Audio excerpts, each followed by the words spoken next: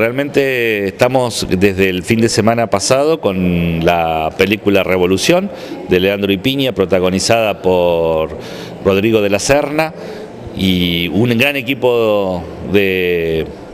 eh, producción atrás de la película. La película está aquí en el espacio Inca, es una gestión que hemos hecho a través de la Municipalidad de Trelew para conseguir casi en exclusiva y en el marco del mes de mayo, el mes que tenemos nuestro un nuevo aniversario de la patria, poder tener la película aquí en Trelew. Realmente ha sido un esfuerzo muy grande de parte nuestro para que la puedan disfrutar no solo el público general, sino las escuelas. Si bien nosotros enviamos las invitaciones especialmente a cada escuela.